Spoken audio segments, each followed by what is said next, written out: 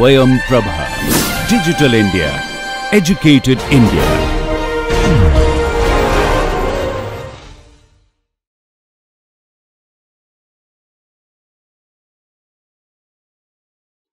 Hello and welcome to this fourth class on special relativity.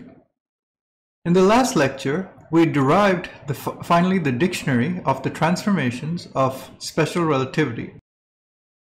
These, this dictionary will enable us to translate observations between one observer, one inertial observer, and another inertial observer who is moving with respect to the first one at a constant speed or constant velocity v. These transformations were actually first derived by Lorentz, uh, and he showed that Maxwell's equations actually transform uh, correctly under these Lorentz transformations. Now, it wasn't until Einstein that the physical meaning of these Lorentz transformations was realized, and Einstein independently derived these Lorentz transformations from his postulates of special relativity. So today, what we're going to do is first we're going to look at some properties of the Lorentz transformation and understand some of the mathematical aspects of it. We will define a few terms such as rapidity and boost factor. Then we'll go back uh, to looking at the relativity of simultaneity, lengths, and time dilation but now we will have a concrete dictionary which will help us understand how exactly lengths are relative, how simultaneity is relative, and how time is relative. We will see in particular uh, two very fascinating aspects of the implications of special relativity. The first is length contraction. That is, rods which are moving with respect to another observer appear to be shorter. The second aspect is time dilation, which is clocks which are moving with respect to another observer appear to be running slower. We will then try to understand these phenomena more intuitively from the constancy of the speed of light relative to all inertial observers. So let's begin by first writing down the Lorentz transformations that we derived in the last class. These Lorentz transformations are the dictionary of special relativity, which will allow us to translate observations of space-time points as described by one observer to the same space-time points as described by a second observer. So let's write down the dictionary first. Uh, we had t prime is equal to 1 over the square root of 1 minus v square by c square into t minus vx over c square. x prime is equal to 1 over square root of 1 minus v square by c square into x minus v times t. y prime is equal to y and z prime is equal to z. Now, this, this dictionary or transformation was specific to the particular case when we had two frames of reference. One frame, S, in which we have the coordinates t, x, y, z to describe the times and locations of different space-time events. And another frame S prime in which the same coordinates uh, or the same locations in space-time, t, uh, t, x, y, z, are described with a different coordinate system, t prime, x prime, y prime, and z prime. And the frame S prime is moving with respect to the frame S.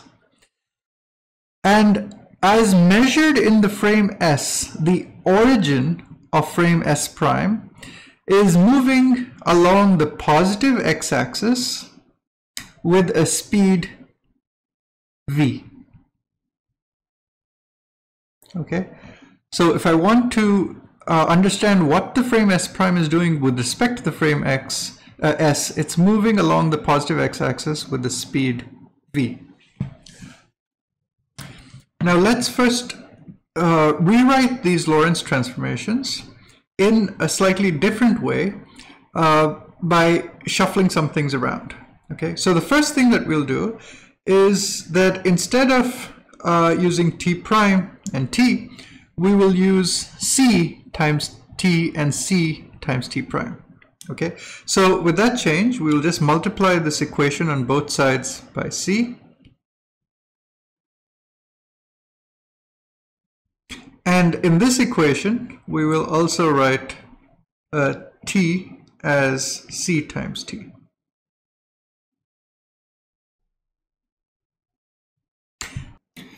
So the next thing that we will do is define a quantity beta,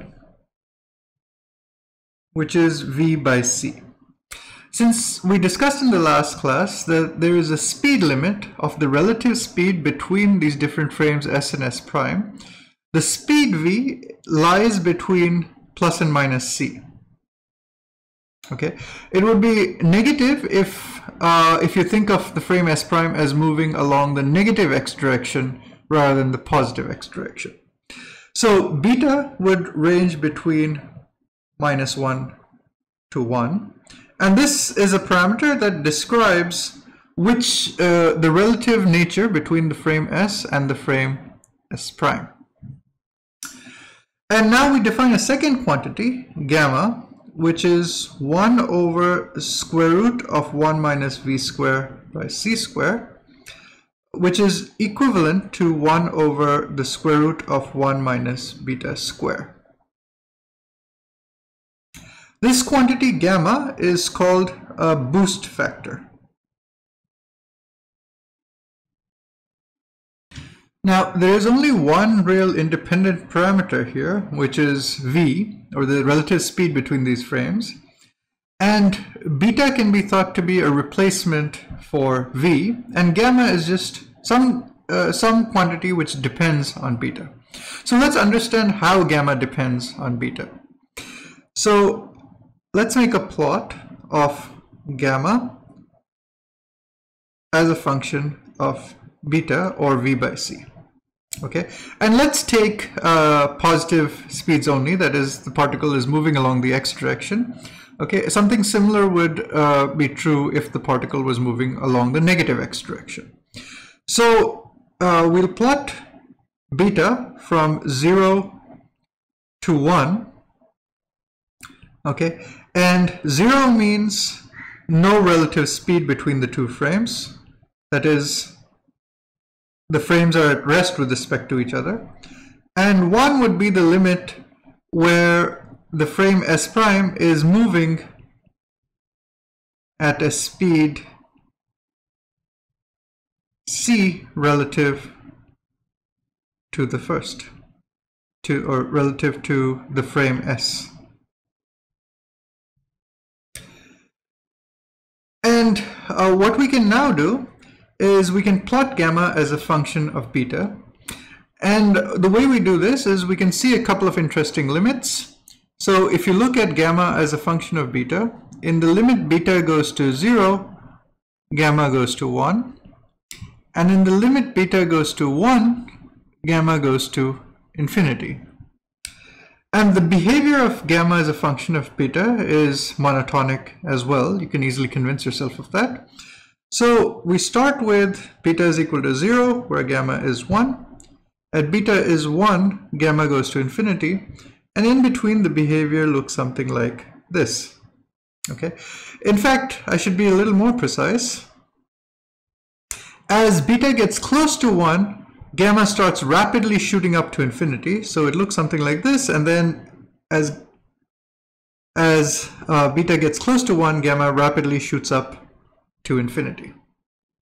So now if you look back at our Lorentz transformations, you see that there are these factors of 1 over square root of 1 minus v square by c square, or factors of gamma sitting around.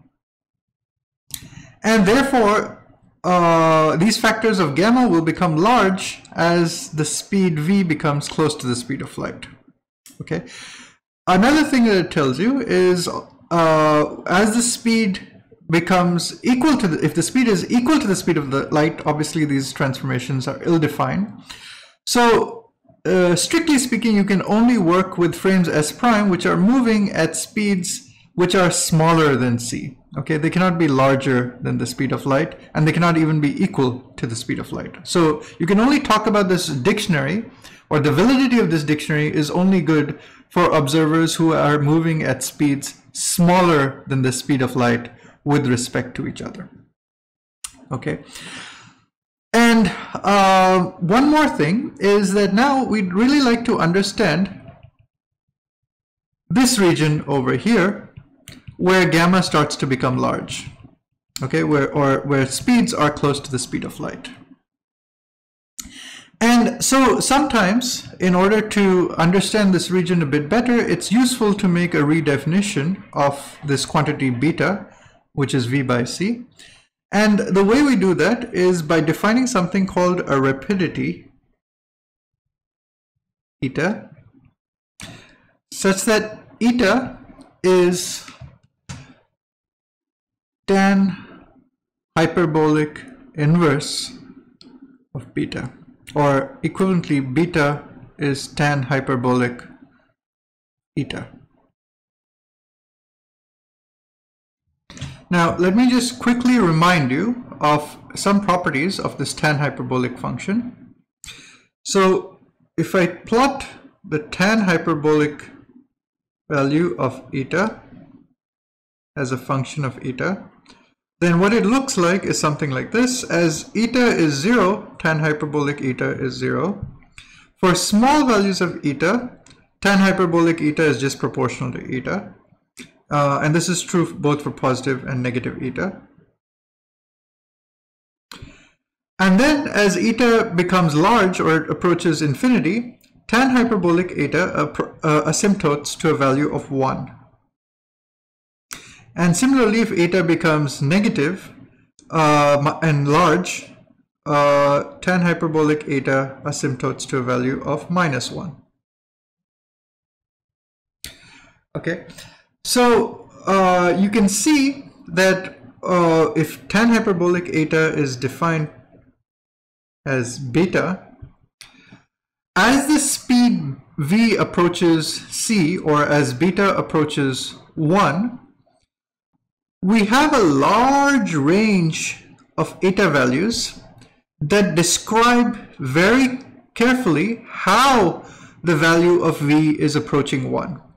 So values of speed close to 1, okay, or values of beta close to 1 are described very uh, much more precisely by talking about eta values which now are spread over a much larger range. Okay, so this uh, will allow us to describe speeds which are close to the speed of light rather than say things like beta is 0.99 which means the speed is 99% of the speed of light or beta is 0.999 uh, rather than trying to talk about these things as being so close to the speed of light that we have to keep track of how close beta is to 1 we can now talk about a quantity eta and this quantity eta would be much more spread out. Uh, so for example, beta is 0.99 would map to a value of eta is 2.6 and 0.9999 would map to a value of eta is 4.9 uh, uh, or 4.95 okay? So depending on how close you're getting to the speed c, you're just talking about relatively smaller increases in eta, uh, sorry, relatively larger increases in eta, okay, which capture how close you're getting to the speed of light. So the thing to keep in mind is that there is still only one free parameter. That free parameter is v, or equivalently we can trade it for beta, or equivalently we can trade it for eta okay. And gamma is now a derived parameter which depends on either v or b or eta. So gamma which is 1 over the square root of 1 minus v square by c square is now equal to or is the same as 1 over square root of 1 minus beta square which is the same as 1 over the square root of 1 minus tan hyperbolic square of eta, which is nothing but the cosh of, uh, or the cosine hyperbolic of eta, or the rapidity. And for small values of v, that is for v much much less than c, beta is much much less than 1 and uh, therefore beta is approximately the same as eta okay? But it's only when the speeds start to get close to the speed of light that eta significantly differs from beta. That is you're stretching out this region of um, this region which is where the speed is close to the speed of light over a large range of eta values. So now we can go back and uh, look at our Lorentz transformations. And uh, we can see that this quantity is uh, 1 over square root of 1 minus v squared by c squared is nothing but gamma. This is gamma. And v by c is nothing but uh, beta. Okay, so this quantity here is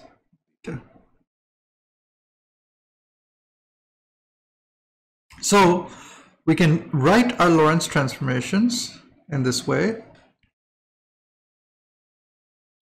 Ct prime is equal to gamma times Ct minus beta times x and x prime is gamma times x minus beta times ct. y prime is y and z prime is z. And since these are linear transformations, uh, we saw in the last class that we can write this using matrix notation. So let's do that.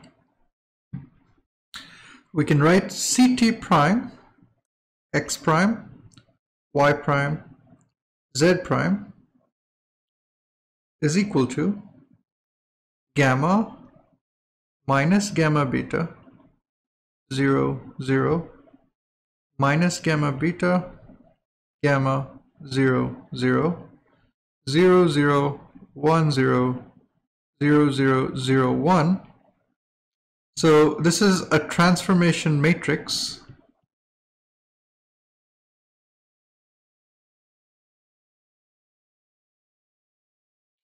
Which acts on um, X, Y, and Z. And this gives us our, our dictionary. Okay, it allows us to translate observations of space-time points or coordinates t, x, y, z as seen by one observer into the coordinates as measured by a second observer. Now, we already saw that we can define beta or uh, we can define beta as tan hyperbolic of the rapidity and gamma is cosh hyperbolic of the rapidity. So gamma times beta is just sine hyperbolic of the rapidity. So this transformation matrix lambda can be written in a slightly more different way. So let's define lambda as our transformation matrix. And lambda is only a function of v, or equivalently, lambda is only a function of beta or eta. Okay, so lambda as a function of eta is cosh eta minus sinh eta sinh eta cosh eta zero zero zero zero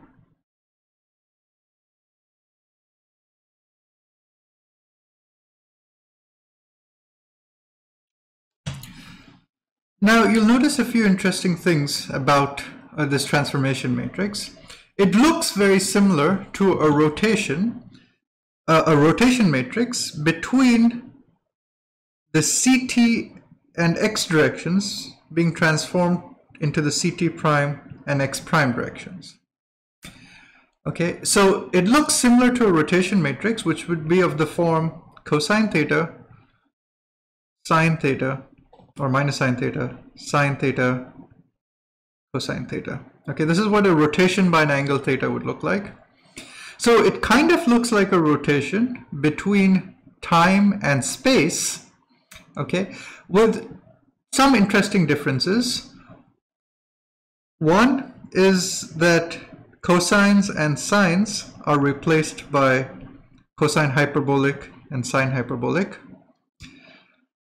The second is that in a rotation matrix, you have 1 minus sign here. Oh, sorry, I made a mistake earlier. There should be a minus sign here. Okay, because it's minus gamma beta that appears here as well as a minus gamma beta that appears over here. Uh, the second thing is that in the rotation matrix, you, you have one minus sign and one positive sign. In uh, this Lorentz transformation matrix, you have two minus signs, okay? Or basically both of them come with the same sign, okay? So if eta is negative, of course, these would be two, two positive signs. And uh, the third change is that this is not a rotation between x and t, but rather x and ct. Okay, so this is a, so really it's telling us that though we thought of time and space as different quantities, because time is measured in seconds, positions are measured in uh, positions are measured in things like meters. Really, what we should think about is ct and x and these quantities have the same units. Ct is, for example, if t is one second, c is 3 times 10 to the 8 meters per second, and therefore ct is 3 times 10 to the 8 meters. Okay. This distance is also called one light second. It's the distance traveled by light in one second. So if we use the correct units to measure time, rather than measure time in seconds, we measure time in units of c times time. That is the distance light travels in that amount of time. Then really we can think of this as some kind of rotation between time and space. Okay, now let's um, come, uh, so the thing about the Lorentz transformations that we derived are that they are for a very specific scenario where the origin in, in time and space, so if we take the event t is 0, x is 0, y is 0, z is 0, as described by an observer in frame S, then in frame S prime, this same event has coordinates t prime is 0, x prime is 0, y prime is 0, z prime is 0.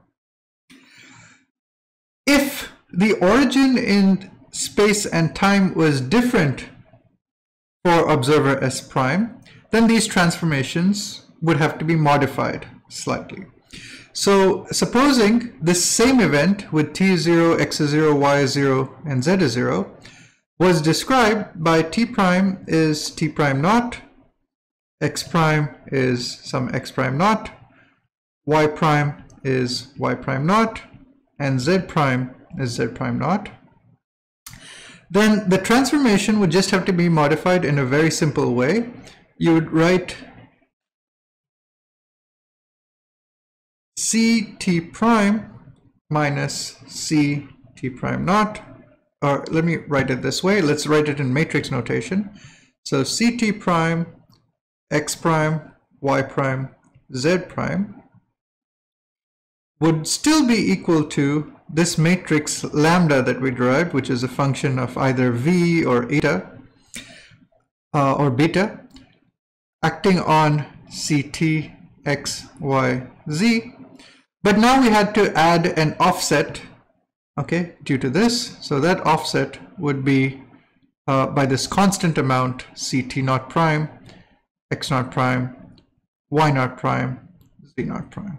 Okay, this is if origin of uh, space-time events uh, do not agree. Okay, that's just a simple offset. So that would make our Lorentz transformation uh, a transformation which goes from what we call a homogeneous transformation to inhomogeneous, okay, because we added an offset in space and time. So this inhomogeneous offset. Okay, but that obviously is a very uh, trivial change.